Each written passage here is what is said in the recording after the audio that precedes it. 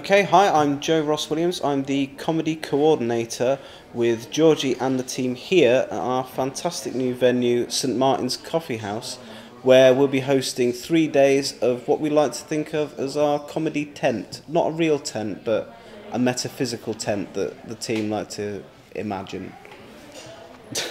imagine. Got Alone Fringe previews running across the weekend. On Friday, we've got Mawaan Rizwan and Seda Yildiz. Mawaan has over 19 million YouTube hits. They're putting together an exclusive performance that's going to preview here before it goes on to Edinburgh. And then we've got Macabre Sketch Trio, Gein's Family Gift Shop. Uh, they kind of do sort of dark, twisted uh, humour all about uh, death and mortality. But despite that, it is actually very funny. On Saturday, we have got Perrier Best Newcomer winner, uh, punk, folk storyteller, My Little Pony collector, Wil Hodgson, doing a brand new show all about the history of the English hangman. On Sunday, we've got a triple header with improv collective Comedy Sportz, two time Leicester Mercury Comedian of the Year nominee Luke Benson, and then the star of Noel Fielding's luxury comedy, Joey Page, is going to be closing the handmade stage. Across the weekend, we're going to have uh, stand up from the likes of Harriet Dyer, David Jesudason. We have a special performance from burlesque vixen Venus Starr.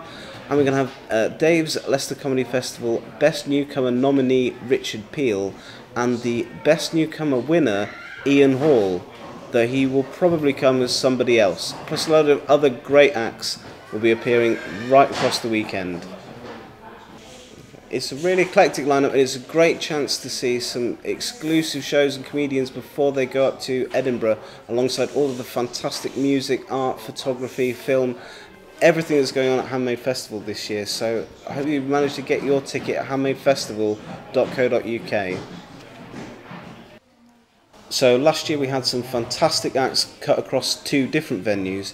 Uh, it's really brilliant this year that we can bring everything into one exclusive venue that's just as enthusiastic and passionate about comedy uh, as myself and the rest of the team at the festival. Uh, I think my personal favourite thing from last year was myself. I love watching myself back on video. Greetings, Leicester. Do not adjust your screens.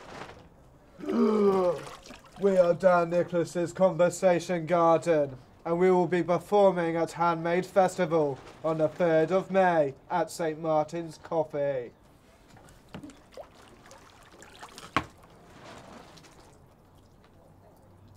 See you there.